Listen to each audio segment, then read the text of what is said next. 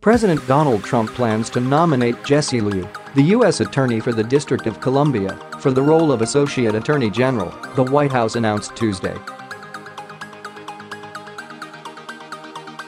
The job, the number three position at the Justice Department, has been vacant for over a year since former Associate Attorney General Rachel Brand's unexpected departure.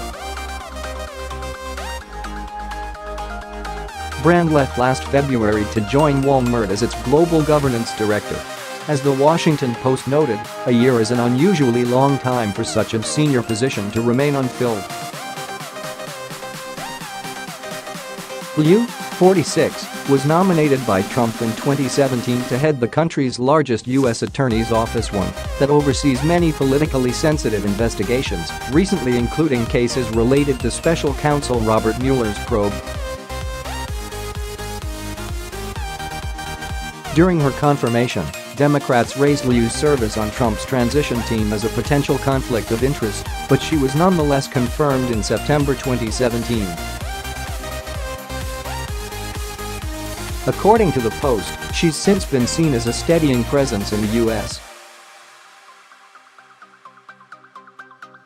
Attorney's office in D.C. The freshly minted Attorney General, William Barr, said in a Tuesday statement that he had recommended Liu who previously worked at the Justice Department during the presidency of George W. Bush for the role of Associate Attorney General. Jessie has distinguished herself as a first-class attorney in private practice, in the Treasury Department, and in five different positions over her career at the Department of Justice, Barr said, according to Politico.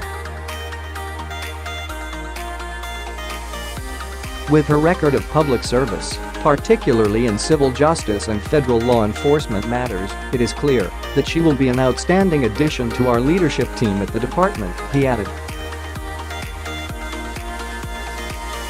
If confirmed, Liu will oversee the Justice Department's civil litigation, including antitrust and civil rights matters. Though some observers have described Liu's nomination as an excellent choice, others have questioned whether Trump has ulterior motives in making the decision. MSNBC host Rachel Maddow pointed out that Liu, as the U.S. Attorney for D.C., is currently overseeing several criminal cases that involve Trump associates and or are related to Mueller's investigation into Russian interference in the 2016 U. S election.at The Department of Justice, you will be working primarily on antitrust matters and civil issues, Maddow said.